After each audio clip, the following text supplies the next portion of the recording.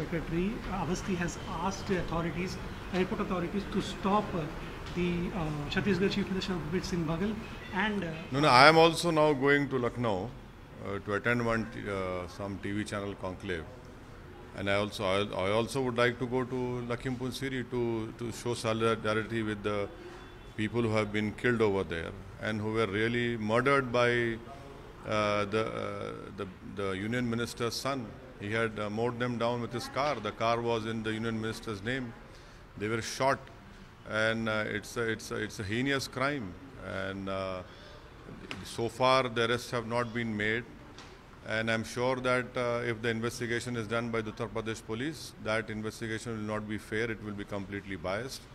It is high time that the Modi government withdraws these three farm laws and uh, he should remove this minister who gave a provocative speech few years ago which led to this incident of killings of the and unfortunately uh, a, a journalist also has been murdered. So uh, from our side we demand that uh, this should, this should be given to a sitting high court judge or a supreme court judge and that inquiry should be monitored by them.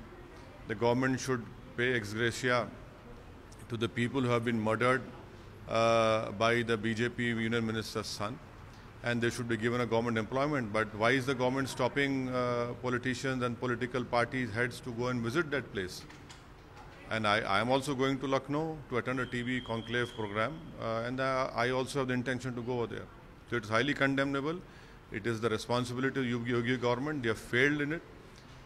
Basically, the chief minister has indulged in this policy of thokdo and that is why all these people have emboldened have been emboldened to take law into their own hands and now we have seen uh, poor farmers who were protesting peacefully have been murdered uh, and, and the government is responsible for that.